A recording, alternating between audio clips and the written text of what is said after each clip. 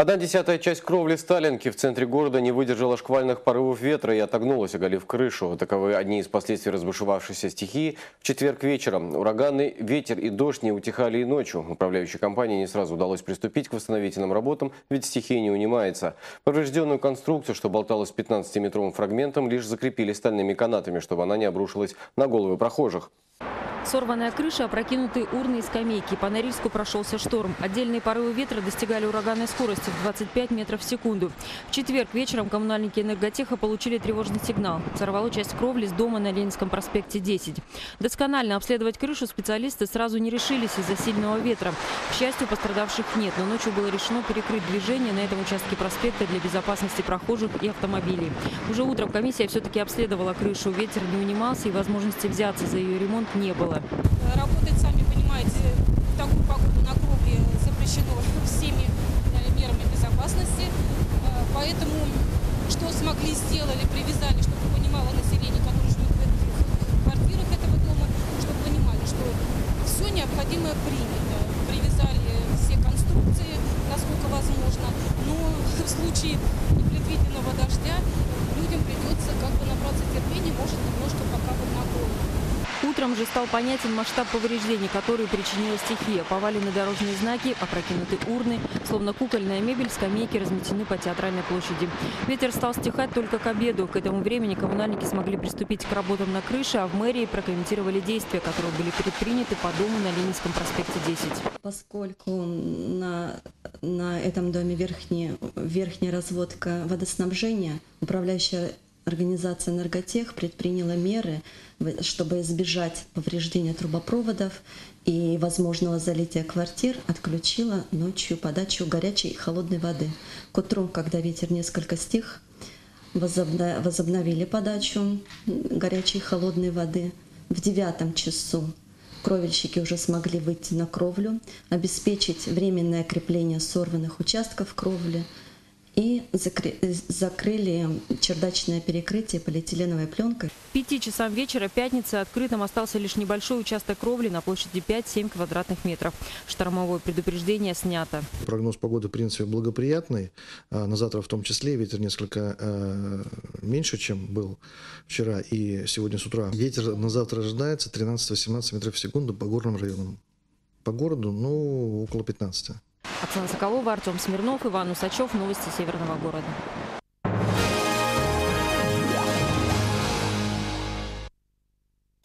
Русская Арктика – регион, имеющий важный экономический и геополитический потенциал для России. И опыт таких крупных компаний, как Норильский никель, который уже почти 80 лет работает в российском Заполярье, несомненно представляет большую ценность для тех, кто только приступает к освоению арктической зоны. Об этом заявила заместитель гендиректора Норильского никеля Лариса Зелькова на круглом столе в эфире телеканала «Россия-24».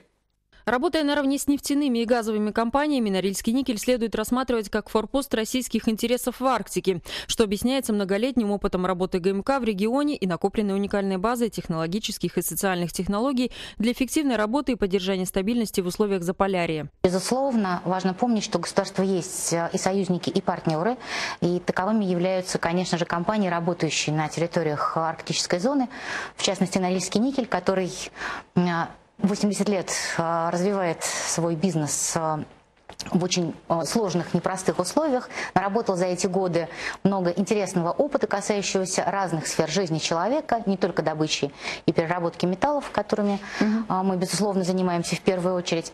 Важно понимать, по словам Ларисы Зельковой, что можно сколько угодно ссылаться на советский опыт, в чем-то эффективный, со многими интересными результатами. Однако нынешнее время диктует другие запросы, нужны другие инструменты и стимулы. Например, Таймыр – огромная территория с колоссальными ресурсами, входящая в арктическую зону России, на сегодняшний день разведан всего на 25%. Дополнительные механизмы стимулирования и построения бизнеса мог бы включать законопроект о территориях опережающего развития и закон об арктической зоне, в первую очередь адресованный государственным институтам и людям, живущим живущим на этих территориях? Мы, как недропользователь и как а, компания, которая заинтересована в создании благоприятной среды а, в Норильске, на Таймыре, на Кольском полуострове, тоже очень ожидаем этих законов. Считаем, что они могли бы привнести а, в наши планы а, новый важный стимулирующий фактор. В ближайшие годы Норникель планирует только на Таймыре инвестировать в модернизацию более 70 миллиардов рублей. В два раза увеличивается объем корпоративной геологоразведки. Компания собственным флотом судов ледового класса является ключевым оператором важнейшей российской транспортной артерии Северного морского пути. Реализует ряд экологических проектов. Старое производство ты в один день не выбросишь, а, заглушку на трубу не поставишь. И это а, очень сложные и часто нетривиальные технические, научные, технологические решения, которые нужны. Я говорила о 70 миллиардах, это только небольшая часть наших инвестиций там на э, Таймыре, поскольку речь идет именно о металлургическом переделе, о модернизации, модернизации, связанной с экологией. Тесное сотрудничество бизнеса с государством в стратегически важном арктическом регионе позволит всем заинтересованным сторонам совершить мощный экономический, социальный и инфраструктурный рывок. И главное, усилит влияние России в Арктике. Оксана Соколова, Ален Бурнашев. Новости Северного города. О богатстве природных ресурсов региона на встрече с работниками заполярного филиала ГМК «Норильский никель» в рамках рабочей поездки на Таймыр говорил и временно исполняющий обязанности губернатора Красноярского края Виктор Толоконский. Огромный потенциал, по словам Виктора Толоконского, в Краснояре скрыт в нефти и газодобывающей отрасли. Есть ряд действующих разведанных месторождений, идет их освоение. На Ванкорском месторождении уже добывают почти 20 миллионов тонн нефти. В Красноярском крае активно строится сеть нефтепроводов, которая соединит север и восток Сибири с центральной ее частью. Другая главная задача краевых властей – газификация региона, крупнейших промышленных комплексов. Без природного газа не решить многие сложные задачи развития и строительство новых жилых микрорайонов, и экологию не улучшить. Тоже мы будем рассчитывать здесь на свой газ. Э, газа много у нас. Э, притом у нас такие месторождения, которые, с одной стороны, сложнее осваиваются, с другой стороны, они очень перспективные, дорогие. У нас почти везде с месторождением природного газа есть гелий.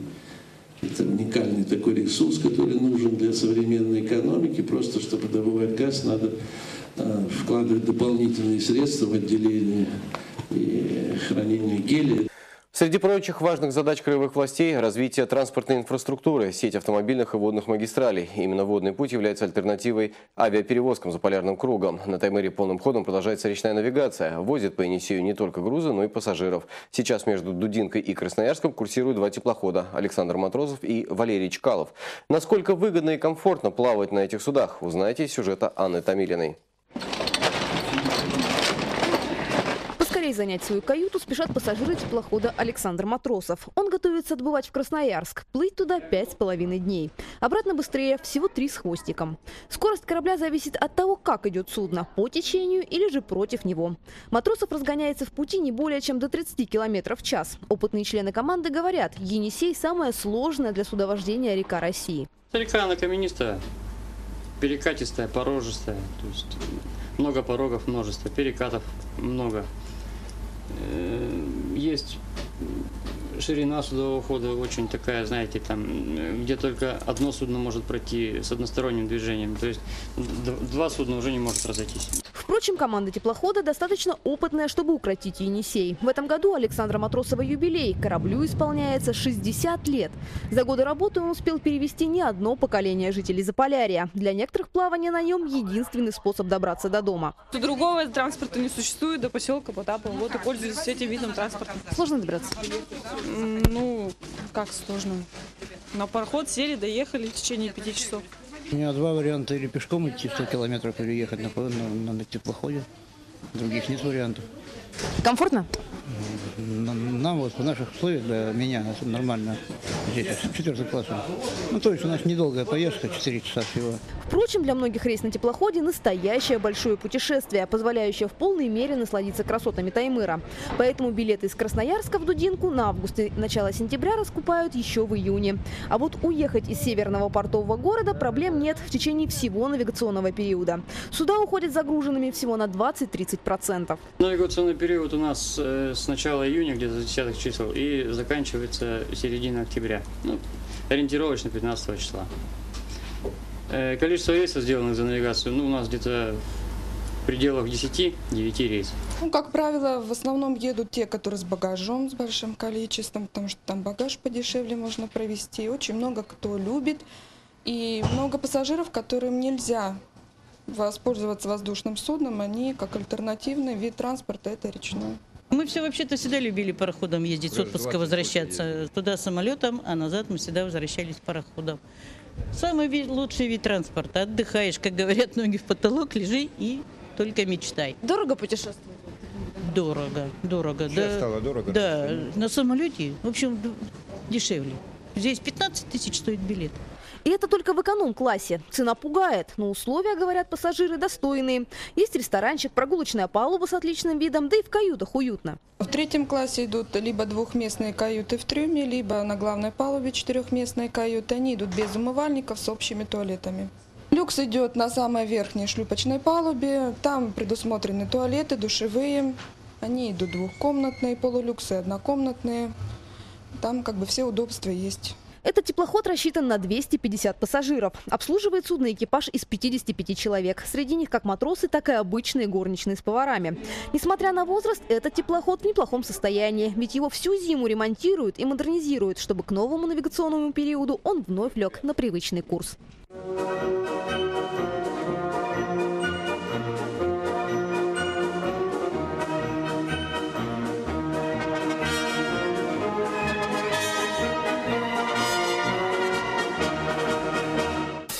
Томилина, Оксана Соколова, Иван Усачев и Александр Вуори. Новости Северного города. Это новости Северного города. Мы продолжаем. Ночной визит медведя в лагерь норильских дайверов и базу уфологов на Таймыре, легенда о разбившемся самолете и экологическая разведка на озеро Лама. С какими еще неожиданностями столкнулись участники совместной подводной экспедиции? Смотрите вторую часть приключений нашего специального корреспондента Егора Тулновского. Сюда, в район реки Амон-Юрях, норильские дайверы пытались попасть несколько лет подряд. Каждый раз погода и природа вносили свои коррективы. Соответственно, возникал такой нормальный, здоровый спортивный интерес по поводу того, что это нужно обязательно дозавершить. Один раз нам помешала очень плохая погода, опустился очень низкий туман. Второй раз был шторм. И в этом году мы решили изначально, что экспедиция должна состояться, именно лагерь разбить в районе Амон-Юряха. В этом году на Ламу дайверы шли не только для тренировок, но и с экологической целью – проверить дно водоема на наличие затопленных рыболовецких снастей и поднять их. Был и краеведческий интерес. По слухам, где-то в этом районе в 80-х затонул самолет. Об этом говорили и некоторые из постоянных обитателей Ламы. Это все время Аннушка на поплавках подчалила, народ подался туда, а тут резко хряпнул шторм, его поплавками об скалы, а там же снал. И он пробил, он завалился и ушел. Принимал участие в поисковой операции и дайвер Наталья Глушкова вместе со своей верной спутницей, лабрадором Мартой, которая, как и хозяйка, больше всего на свете любит купаться. Нырять Марта не умеет, зато всегда провожает хозяев во время погружений. Она сейчас полезет следом за нами, будет плавать над нами. Правда, в этот раз Наталья оставила свою воспитанницу на берегу, уж больно вода в ламе холодная. Так что пришлось Марте наблюдать за своей хозяйкой в компании зрителей и заедать стресс печеньем. Зато когда дайверы вернулись с собачьему счастью, не было предела. А вот дайверы были немного раздосадованы. Следов самолета обнаружить не удалось. Если он и разбился в этом районе, то ушел на такую глубину, на которую в этих широтах опасно пускаться даже профессиональному дайверу. Старых сетей команда тоже не нашла. Дно чистое, нет даже мусора. Район этот мало исследован человеком, может поэтому здесь у берега можно встретить не только зайцев и парнокопытных, но и медведя. К лагерю несколько раз подходил косолапый, но его спугнули собаки. А мы сейчас это ищем медведя. Ну, возможно, медведя. Потому что собаки среагировали, в общем-то, и след свежий, медвежий. То есть вчера с вечера этого следа не было, поэтому он приходил либо ночью к лагерю подходил, либо он проходил уже утром непосредственно. Прочесав периметр вокруг лагеря, удалось найти множество медвежьих следов. Сам косолапый, видно, уже имел дело с человеком, так что предпочел ретироваться при первых признаках активности на стоянке. Вот он. По-моему, он сюда подходил. Не обошлось в этой поездке без мистики. От одного из опытных тундровиков дайверы узнали о базе уфологов, расположенной недалеко от стоянки. Недолго думая, участники экспедиции собрались и отправились исследовать загадочное место и знакомиться с необычными соседями. Сейчас мы находимся в районе реки Банасяк. Это самое загадочное и мистичное место во всей Ламе. Говорят, что по ночам здесь можно увидеть яркие огни в небе, пространство и время искривляется и ведет себя по-своему. Именно для изучения этих загадочных явлений сюда приезжают уфологи со всего мира. Местечко и правда казалось жутковатым. Кругом следы недавних пожаров и прошлогоднего потопа, чуть не смывшего лагерь.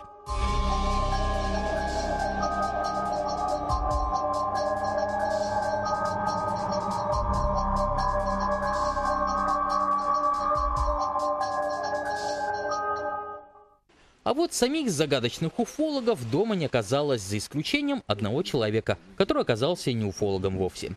Короче, там есть место, как, э, где часы в обратную сторону должны идти. Помянутой в разговоре временной аномалии тоже обнаружить не удалось. Нормально все идет. За время нашего пребывания на базе уфологов ничего мистического не произошло. Ни летающих тарелок, ни древних динозавров. В общем, для нас истина остается где-то рядом. По-моему. Развеявшись в походе за неизведанным, дайверы приступили к изучению глубин с новой силой. На риске спасатели провели парное погружение, а представители Дудинского арктического отряда отработали одиночный заход со страховкой и опробовали новый дайверский шлем с возможностью радиосвязи. Егор Туновский, новости Северного города. А на Альгуле все еще продолжает восстанавливать уничтоженную прошлогодними пожарами деревянную трассу. Осталось проложить 20% настила. Это при том, что трасса прошлым летом была сожжена почти полностью. Виновных так и не нашли, но должности лишилось руководство базы. Хотя, по сути, к этой беде причастны оказались все. Всем миром и в итоге исправляли ошибки. Репортаж Ольги Макряк.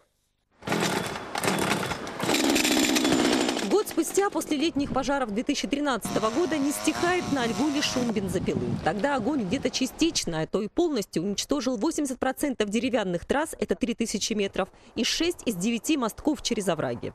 Винили в этом власти тогда всех, и жару, и отдыхающих людей, и пожарных, и главное, ответственный персонал Альгуля. А тот директор, я надеюсь, будет уволен? Директор лыжной базы была уволена, был нанят новый человек на эту должность, который, в принципе, занимался восстановлением этих мостков вплотную. Тогда позиция городских властей была принципиально жесткой. Восстанавливать инфраструктуру базы поручили тем, кто ее проглядел.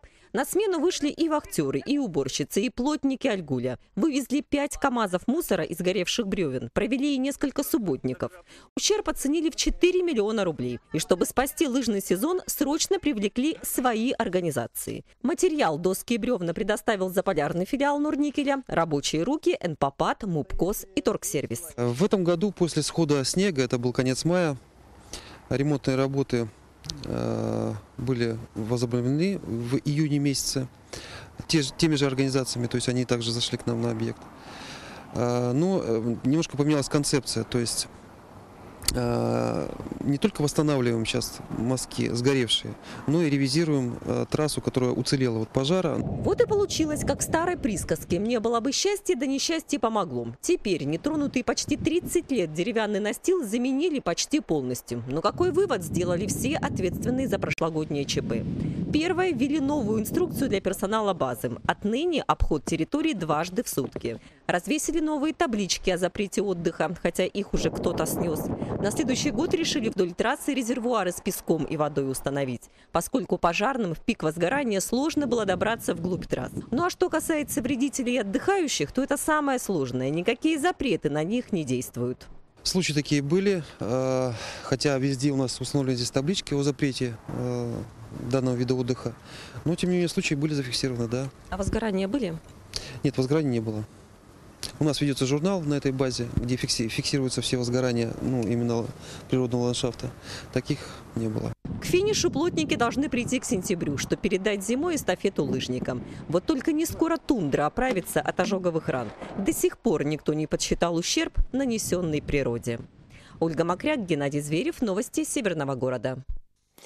Ну а школьники закончили двухмесячный трудовой сезон. Этим летом почти 800 ребят трудились на предприятиях города и Норильского никеля. Всего было организовано почти 50 отрядов старшеклассников. За время работы в ТОШах подростки успели принять участие в спортивных соревнованиях и творческих конкурсах. ТОШ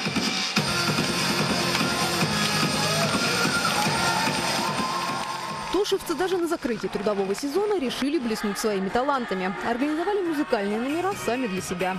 Хотя время выделиться было и раньше. Ребята участвовали в конкурсе граффити, агитационных плакатов, спартакиаде, пытались нарисовать лучшую эмблему для своих последователей на тему Норильскому комбинату 80. Успехи подростков не остались без внимания. Награждали за участие в творческих конкурсах. Вот. Приятно, когда отмечают заслуги? Ну, конечно, приятно. Кому не будет приятно, когда его ну, выделяют среди всех как бы за какие-то достижения.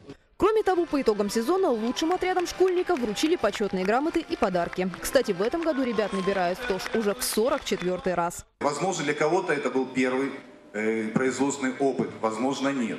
Но все, безусловно, с успехом прошли этот э, хотя бы короткий, но э, жизненный путь, получили свои навыки, новые, возможно, знания. Да и сами ребята говорят, что получили колоссальный опыт. Самое главное, они теперь не понаслышке знают, что такое работа. Это большая ответственность и строгая дисциплина. Научился работать в коллективе, там, ну, обрел новых друзей. Мне очень нравится получать деньги за труд, честный труд. Хороший коллектив, хорошие люди, хорошие начальники. Эмоции от первых трудовых месяцев жизни у этих ребят позитивные, но вот времени на отдых перед учебным годом совсем немного. Поэтому школьники изо всех сил радуются последним летним дням, пусть они и не совсем погожие. А мы сегодня до рассвета наслаждаться будем летом, целоваться у причала, будто лето не кончалось. Анна Томилина, Иван Усачев. Новости Северного города.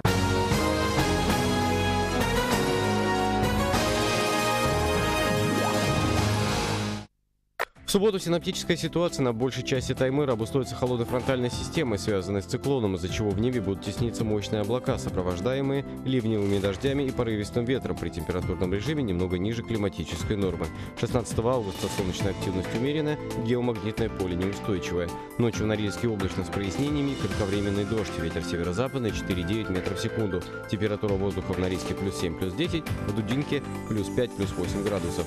Днем в городе облачно с прояснениями, ливни, ветер северный 4,9 метров в секунду. Температура в Норильске и Дудинке плюс 9, плюс 12 градусов.